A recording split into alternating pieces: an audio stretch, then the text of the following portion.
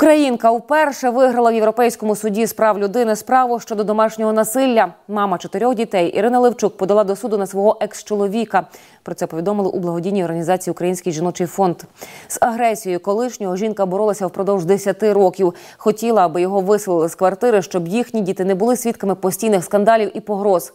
Українські суди розглядали цю справу більше двох років, і її Ірина Левчук таки програла але не здалася і вирішила звернутися до Європейського суду з прав людини. А там від подання до ухвалення позитивного рішення минуло всього півтора року. Як мінімум третину